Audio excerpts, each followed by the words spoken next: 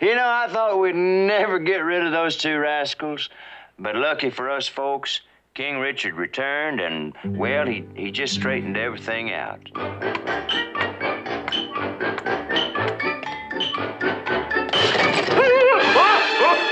Ooh, ah! Say, we better get over to the church. Sounds like somebody's getting hitched.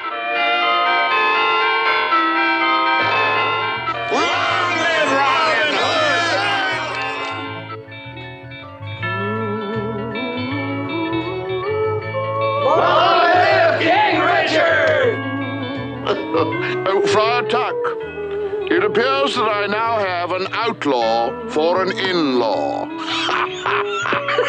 That's not bad.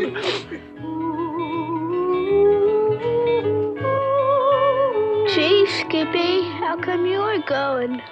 Well, Robin Hood's gonna have kids, so somebody's gotta keep their eye on things.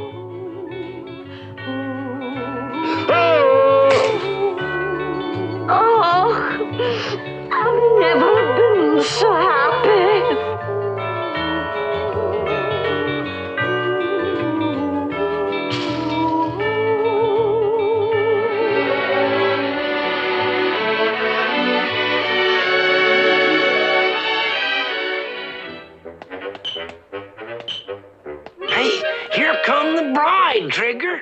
Present arms!